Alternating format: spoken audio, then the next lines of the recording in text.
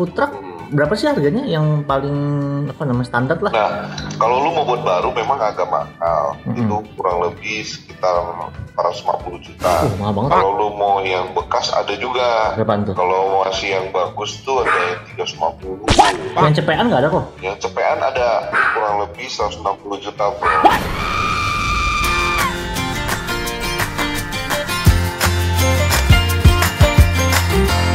Hari keempat, eh, ini hari Senin tanggal berapa ini ya, sayang?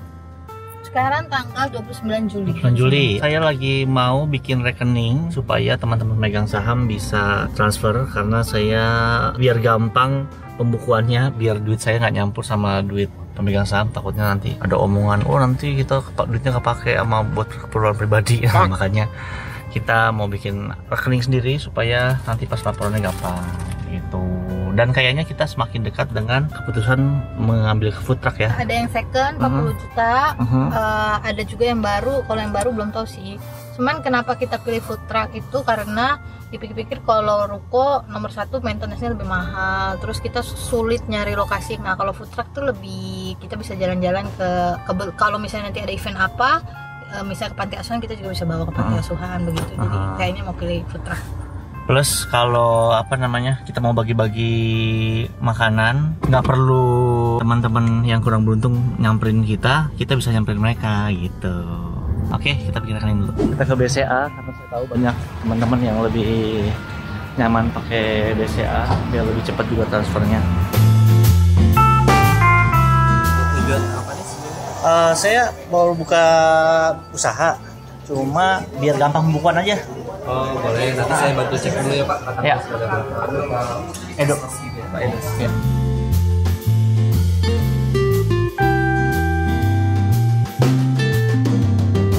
Yeay, sudah selesai bikin rekeningnya.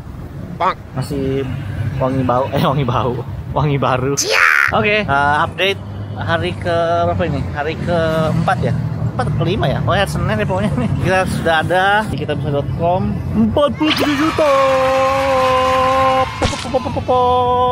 Semangat, semangat, semangat. Ini sudah cukup untuk untuk bikin food truck yang seadanya.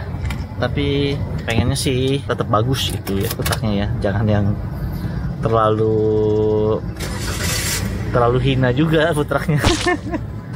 Nanti mogok lagi di jalan gue. Halo fam, sebelum lanjut nontonnya, kasih like dulu ya. Dan dukung channel ini dengan cara subscribe. Nyalakan juga notifikasinya untuk update terbaru. Thank you for being you. Jadi saya kemarin nontonin YouTube uh, tentang food truck banyak banget dan apa namanya nyariin kontak mereka dengan cara uh, lihat yang diwawancarai siapa. Habis itu saya cari aja Instagramnya. Eh, ternyata ada salah satu yang apa dulu senior saya di uh, Koko Cici Jakarta. Ya ini sih kita mau telepon dia. Halo Ko Ferry. Halo bos. Halo Ko. Apa kabar Ko? Singkat ya Ko? Alhamdulillah. Sehat ya. Kok eh, aku kemarin lihat ini liputan Koko di apa namanya Net TV apa Kompas TV tentang food truck gitu pokoknya. Terus aku kan lagi pengen bikin ini nih apa namanya warteg warteg keliling gitu. Jadi pengen pengen tahu Ah. kalau food truck itu perizinannya gimana ya kok? Oh, kalau untuk food truck saat ini sih perizinannya itu belum, istilahnya belum apa ya, belum sampai ke tambang. Hmm, masih abu-abu gitu. Jadi Ya? sekarang ini abu-abu memang. Hmm. Nah, saat ini tuh masih dianggap kaki lima kita. itu. Oh gitu. Nah, jadi belum ada peraturan resmi dari pemerintah tentang Hmm. sebenarnya. Mm-mm. Yang penting truk nanti pas dari kira Oh sekir, oke. mengangkut barang gitu. Itu eh, food truck Hmm. Berapa sih harganya yang paling apa namanya standar lah? Nah, kalau lu mau buat baru memang agak mahal. Mm-mm. Itu kurang lebih sekitar 450 juta. Oh, mahal banget. Kalau lu mau yang bekas ada juga. Berapaan tuh? Kalau masih yang bagus tuh ada yang 350. Yang cepean nggak ada kok. Yang cepean ada kurang lebih 160 juta bro. Mahal juga ya. Oke deh. Eh, Thank you banget ya kok ya. Oke. Oh iya, Kok. Siap-siap dok. I- i- i- ini kita ngobrol aku sambil rekam di YouTube nggak apa ya kok ya? Ya nggak apa-apa. Oke. Thank you ya kok ya. Siap. siap. Oke, thank you. God bless. Yuk. Baik. Oke, kita udah ngobrol-ngobrol. Ternyata memang susah untuk food truck benar-benar turun ke jalanan jualan karena kita harus berhenti dan setup macam-macam nggak bisa cuma berhenti terus jualan-jualan-jualan karena kan kita mau masak kan gitu kan. Pengennya makanannya fresh dan susah juga kalau kejar-kejaran. Jadi kita in the end harus parkir di itu depan ruko orang sih. Nah, kebetulan aku sih ada beberapa ruko temen yang bisa dipinjemin gitu depannya. Sempat tadi saya sempat ragu. Tadi dia bilang kalau VW kombi perawatannya mahal karena mesinnya mesin lama kan gitu kan. Kalau VW kombi itu susah ngurusnya bro. Kenapa Nanti banyak masalah. Kalau Oh. kombi kan Mesinnya ya? mobil tua. Hmm. Soalnya saya yang saya lihat di kombi itu murah, cuma 40 jutaan, 40 sampai 60 jutaan tuh udah dapet VW kombi udah jadi food trucknya juga. Paling modif-modif dikit beresin paling 70 juta lah ya udah jalan. Tapi dia bilang mesinnya perawatannya repot ya. Kalau Grand Max aja udah 140. Aduh. Aduh. Oke, no problem. Kita pasti bisa. Oke, jangan khawatir. Kita bersama. Kita bersama. We are together. Oke.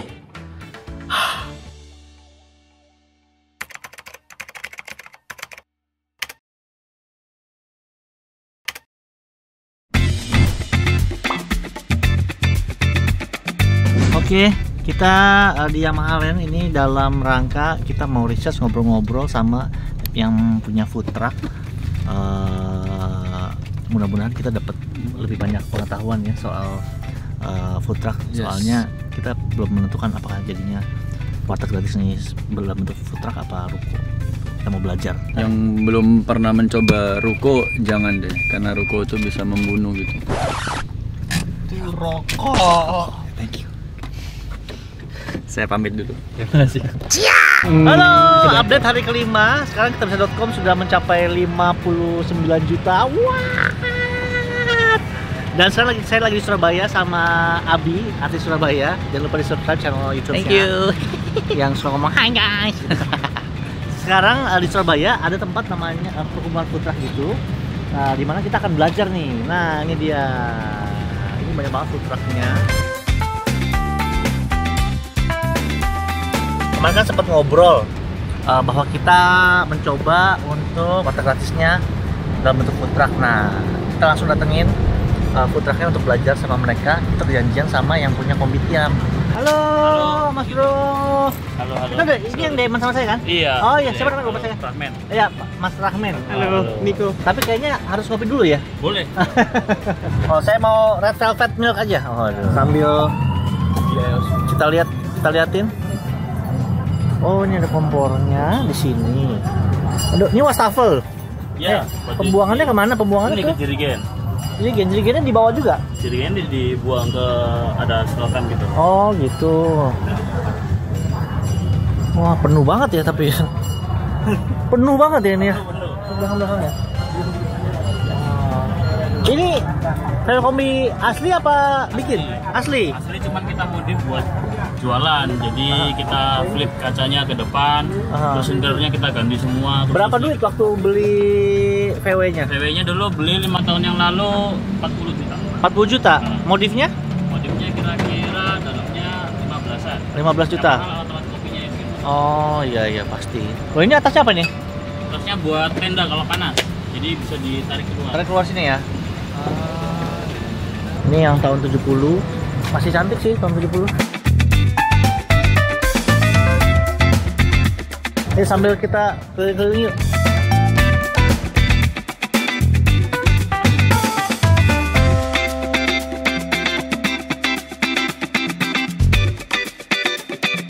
Nah sebenarnya ada ini yang kita mau bikin kayak begini ya? Yang kombi itu Iya, iya. Halo Mas. Ngobrol-ngobrol ya Mas ya? Mas ownernya apa? Ownernya ya? Wah, udah berapa lama usaha food truck? Saya udah 9 tahun. Nama siapa Mas? Mas Agus.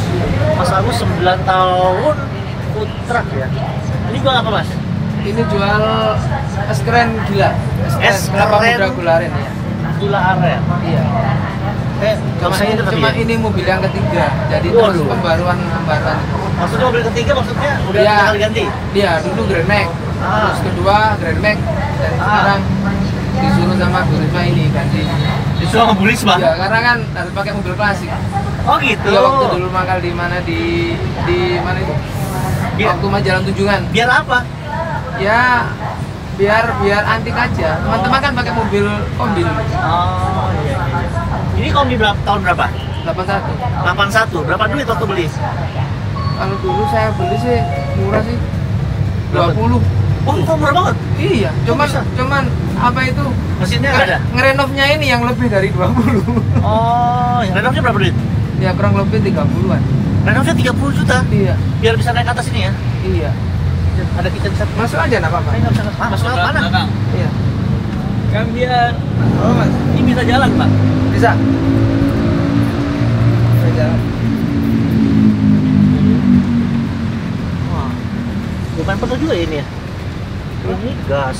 Gas buat apa? Iya masak. buat Kan minuman. Tapi ada masanya. Ada snacknya juga ini. Pertanyaan saya mas, ini kan udah 9 tahun uh, food truck. Terus selalu di event-event apa pernah angkal di jalan juga? Kalau dulu memang saya pertama dulu di Jalan Tunjungan. Kendalanya apa sih uh, kalau di jalan, kalau di event kan gampang tuh, tinggal datang ya kan. Uh, kalau di eventnya bayar apa nggak sih eventnya?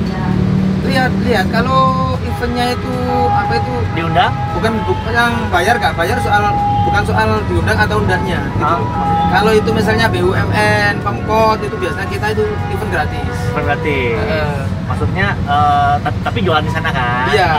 Tapi kalau event lain biasanya swasta bayar. hit, uh, food trucknya yang bayar apa maunya yang bayar? Food trucknya yang bayar. Food trucknya yang bayar. Eh, cuman kadang-kadang kadang-kadang suruh bayar listrik aja untuk meramaikan. Oh iya iya.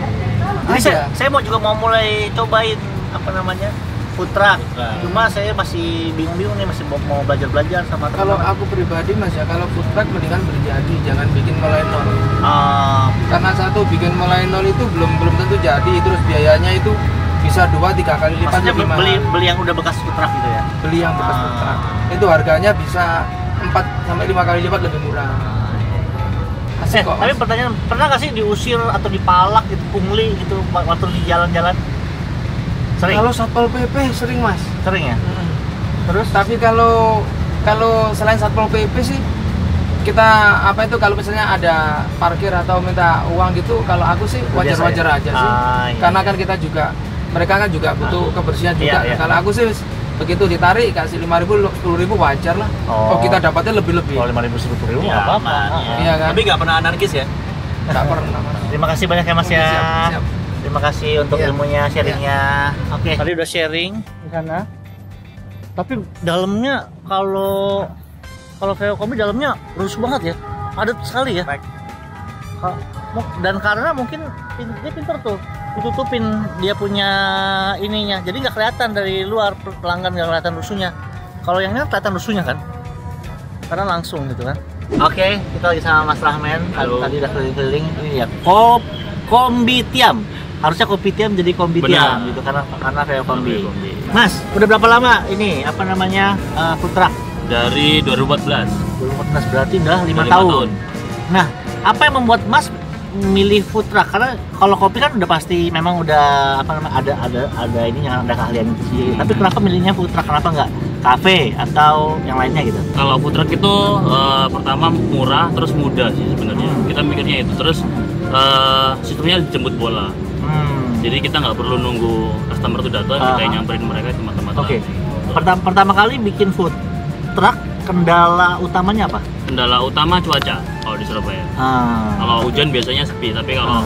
kalau hujan rame. Eh, kalau sehari-hari di sini, Dari sini berarti siang nggak ngapa-ngapain? siang tutup. Siang tutup. Panas soalnya.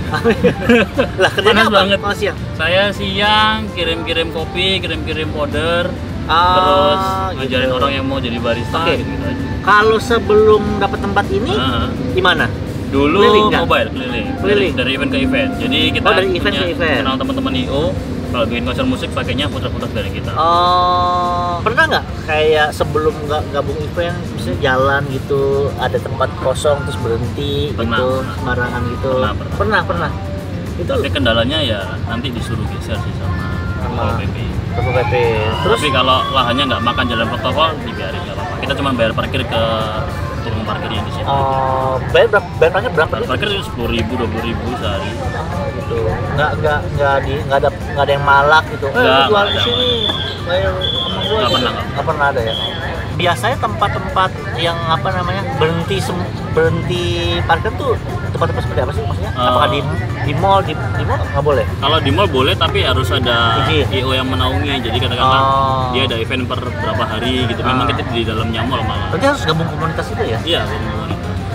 Ini kan maksudnya Ko Koedo ini kan lagi bingung kan. Hmm. Maksudnya lagi research gitu mengenai food, food, food truck gitu kan. Hmm. Biasanya itu kalau paling asik tuh ada yang udah pengalaman udah berapa 2000 berapa? Berbuat Iya. 2014 5 tahun kan berarti. Itu suka dukanya apa? Dukanya biasanya cuaca. Terus kalau pakai mobil klasik biasanya mesinnya suka rewel. Udah itu aja. Se- se- sebulan berapa kali mogok? Gue nggak pernah mogok kalau ini. Jadi Ah, eh, gimana? tiga kali tiga bulan sekali servis. Ada mekanik panggilan buat ngurusin VW. Mekanik yang khusus pegang VW. Oh, gitu. Dari, dari zaman bapaknya dia udah pegang VW. Sekarang anaknya Di Surabaya, Di tapi Surabaya. tapi Ini kalau kita ngomong undercover ya, Iya. Iya. bukaan gitu. Ah. Yang terburuk apa nih? Kan soalnya orang-orang ngomong kayak biasanya bakal didatengin orang lah apalah gitu gitu. Selama ini sih saya nggak pernah digituin sih. Oke. Jadi, Rata-rata sih kebanyakan kendalanya di malah di kitanya cari tempat jualan pertama itu agak susah. Oh, dari tempat jualan pertama. Nah, itu setengah mati. Makanya saya Oh, iya? dulu dua tahun cuma event-event aja nggak pernah jualan daily karena nggak Oh. dapat, nggak dapat Karena Jadi, saingan. Nah, jadi kita bukan bukan saingan. eh, pemerintah itu nggak support buat kita jualan di badan-badan jalan kan karena Ah, bikin iya, betul. rusuh atau gimana. Terus kita harus cari tempat-tempat yang mau menerima kita. Ah. Kebetulan saya dulu mulai sendirian, belum ada teman-teman ini. Ah. Jadi semakin susah. Nah kalau sekarang ini kan kita maju langsung bersepuluh orang nawarin proposal Langsung. mau nggak kerja sama sama kita kita Oh, Pentingnya komunitas berarti ya. Ya. ini yang susah. Kalau gue, gue soalnya nggak bisa masuk komunitas, bro. Ya kan? Gue buka yang lain sepi nanti. susah. ya kan? Ya dong. Ya dong, yang ada saya dikucilkan dari komunitas. Emangnya udah tahu tapi belum? Belum. Jadi saya ini mau bikin uh, food truck, Ah. tapi gratis, mas. Oh gitu. Gratis, jadi jadi jadi kalau saya buka di sini yang lain bubar kan. ini kan tadi saya lihat tempatnya kan sempit tuh kan, Ah. udah banyak tuh. Dulu waktu jalan jalan perjalanan tuh sendiri doang berarti. Iya. Kalau jauh banget kita bawa mobil backup. Oh, dulu. Jadi ada mobil biasa yang buat bawa-bawa stok barang Ah. sama tim. Terus apa namanya? Waktu beli VW-nya di mana sih? Beli VW-nya beli di Surabaya. Ada ada ada khusus khusus yang bikin VW food truck apa? Eh, Ada khusus kalau VW? yang khusus VW putra nggak ada. Kalau saya belinya memang kondisi VW. Jadi Ah. eh, kebetulan saya suka barang mobil-mobil klasik, motor Ah. klasik. Jadi memang nggak mau ngubah bentuk aslinya. Ah. Jadi memang nggak nggak mau saya potong, nggak mau saya apa sih biar gini. Tetap Iya, iya. supaya nanti ketika in case worst case-nya ini harus aku jual masih ada nilai jualnya. Oh, iya. Oke, kalau gitu, Mas terima kasih banyak. Terima kasih banyak. Ini berapa nih? Sepuluh ribu. Apa? Sudah. Sudah apa? ini, ini, ini buat saya nih. Iya, iya. Terima kasih banyak. Kenapa kan saya, saya masukin ke itu kan? Nggak apa-apa lah. Nanti Jangan lupa untuk datang setiap hari, setiap hari ya. Setiap hari. Setiap hari mulai jam 6 di Yamaha Land uh, Kombi Tia. Thank you. Thank you, Iya, Pak. mantap, mantap, mantap. Oke fans, kita udah ngobrol-ngobrol tadi sama dua orang yang food truck-nya VW yang seperti sesuai dengan budget kita. Kayaknya sih lumayan cerah ya. Maksudnya secara hambatan kayaknya masih bisa dilampaui. Ya. Maksudnya kalau parkir cuma bayar begitu doang, apa bayar ya pungli-pungli kecil-kecil sih nggak apa-apa nggak sampai ditangkap polisi kemudian denda jutaan gitu kan. Tapi perlu diingat ini di Surabaya kok. Iya sih. Terus terang saya masih Serpong kok, itu bukan Jakarta. Iya, maksudnya Jakarta daerah- keras. Serpong agak lembek dikit. Agak soft soft. Nah, tidak terlalu banyak perlawanan. Iya, iya. Oke lah kalau begitu mudah-mudahan eh, lancar nanti eh, Cek-cek dulu kan. Nah, tetap hari minggu kita harus cek dulu, running cek. Atau mau berhenti gimana? Kita coba aja nekat aja nekat. Cuma yang jadi masalah sih itu ya sempitnya itu loh. Sempit mas, sempit loh. Nggak bisa bergerak lagi kita. Hmm. Oke. Cut.